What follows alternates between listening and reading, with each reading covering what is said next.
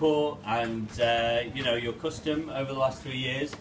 Um, and to celebrate the birthday, we have brewed a special beer with uh, Rob right here from Blackjack. Um, who's very kindly uh, offered to brew it for us. Uh, it's a Satsuma IPA. Um, do you want to tell just a brief rundown of the recipe? Uh, Yeah, very briefly, um, Rosie, Claudia, and Claudia came down, which was quite nice because I was expecting these hairy gits behind the bar to come down. It was always a pleasant surprise.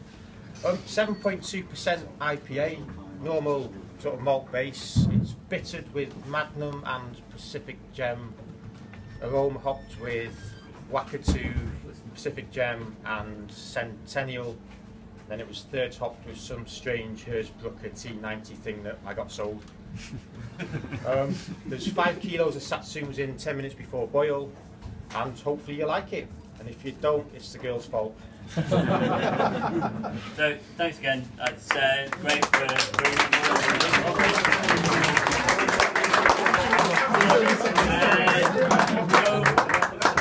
have some pies for sale if anyone's hungry. We've got the beer on cask and keg. The keg is randled with uh, with clementines and mosaic, so that's pretty cool actually. And also, thank you very much for Andy from Summer Wine. He's brought us our original first birthday anniversary saison that we brewed uh, a couple of years ago now, and that's been aging uh, in some uh, dusty part of their brewery for a couple of years, and it's tasted pretty sweet. So uh, yeah, enjoy, and thank you again. I can't thank you enough. Cheers, guys.